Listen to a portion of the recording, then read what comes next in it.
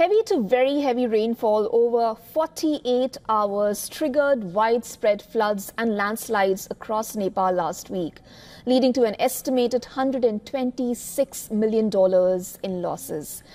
The agriculture sector was hit the hardest, suffering $44 million in damages as large areas of crops were inundated.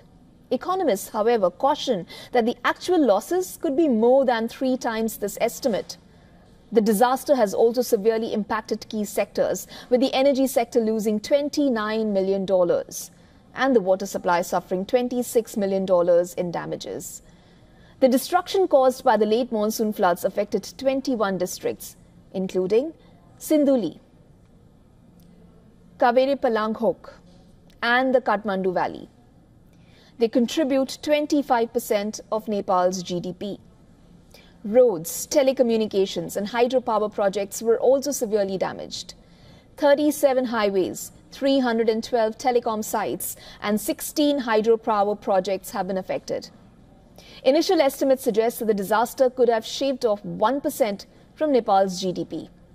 Experts warn that agricultural losses will reduce the economic growth, increase food prices, and strain low income households. Now, with the looming budget deficit, the Nepalese government faces significant challenges in funding relief and reconstruction. The government already owes $300 million to contractors and another $193 million in subsidies and debts. The disaster will likely exacerbate Nepal's economic struggles, with agriculture and energy output expected to drop sharply, affecting exports and tourism. Amid these challenges, the government has mobilized over 30,000 security personnel for relief efforts. Economists emphasize the need for prudent measures to avoid further economic upheaval. For all the latest news, download the WION app and subscribe to our YouTube channel.